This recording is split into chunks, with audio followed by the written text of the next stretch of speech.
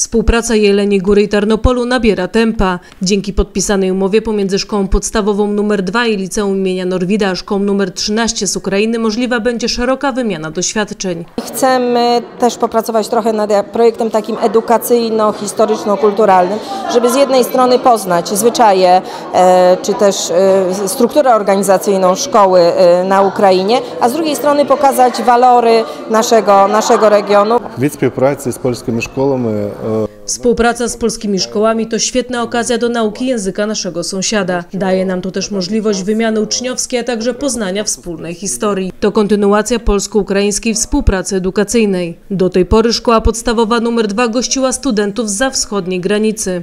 Daje ona możliwości poznania zarówno zwyczajów e, narodów, z którymi się kontaktujemy, ale również e, i e, te zwyczajne rozwiązania dydaktyczne, które są Współpraca pomiędzy Tarnopolem a Jelenią Górą to nie tylko wymiana kulturalna. Jak podkreślał Wolodymyr Kaszycki, dzięki umowie będą mogli aplikować o środki unijne. A to jeszcze nie wszystko. Tam jest możliwość uzyskania większych takich rzeczy, sprzętów, jakichś rzeczy. To, co proponuje Unia, to jest Erasmus+, to jest inne projekty, jest teraz Polska Pomoc, tak się nazywa. Pierwsze wspólne działania zaplanowane są na wiosnę przyszłego roku.